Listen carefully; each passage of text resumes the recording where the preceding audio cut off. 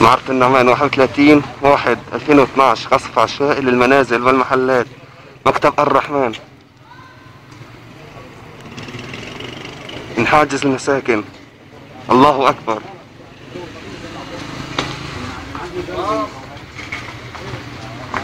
كتاب الأسد. انظر ماذا تفعل بالمحلات.